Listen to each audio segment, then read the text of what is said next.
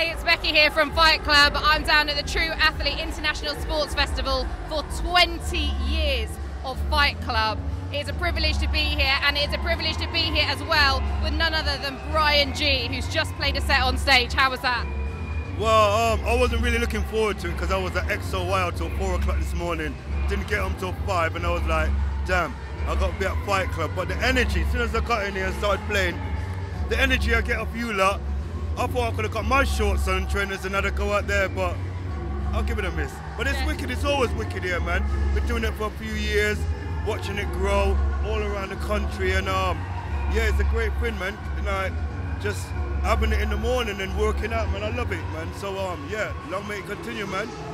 Yeah, I mean, it's so great to have you down here. It's a big year for you guys as well. 30 years of V, 20 years of Fight Klub. How's it all been? Like 30 years? Like, Where did that time all go, man? It's like, wow. When I look back at 30 years, it feels like that's a long, long time.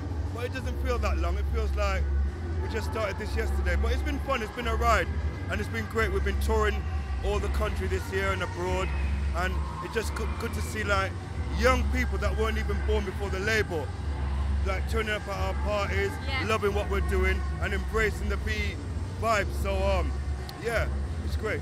Yeah. And you do more gigs like this, kind of day raves these days, or is it Oh, like yeah, yeah. still the late I'm, club night? I'm off to do one now at We Are Here Festival.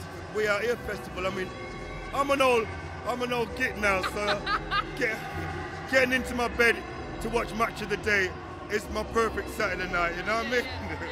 And what's it like playing at the ExCeL versus a club? Oh, it's brilliant because I used to live here about 20 years ago. I used to live across the road, and like I hated this area. You know what I mean? And the ExCeL was just right in front of me and all that. But I never came here, and um, today I was really surprised how massive it is.